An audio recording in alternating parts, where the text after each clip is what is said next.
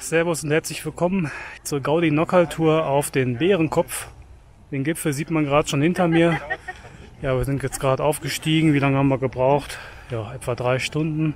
Ungefähr das, was auch unten dran stand. Ja, Wetter ist leider nicht ganz so schön heute. Hat auch ein bisschen angefangen zu regnen. Aber zumindest können wir den Achensee sehen. Ist ja auch schon mal was.